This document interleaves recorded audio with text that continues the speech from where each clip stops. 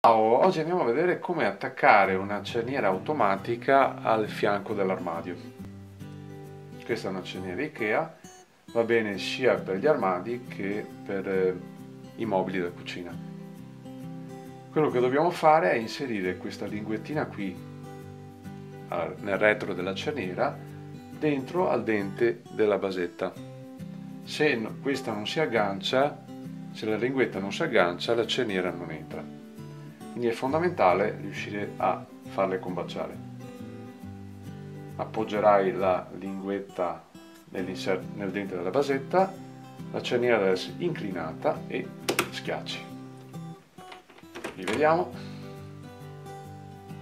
Questa linguetta qui dentro. Linguetta, la cerniera è inclinata, quindi non provare a fare così perché non entra inutile provare ad agganciare in questo modo. Linguettina entra nel dente la cerniera inclinata e schiacci. Benissimo. Se il video ti è stato utile lascia un commento. Ciao grazie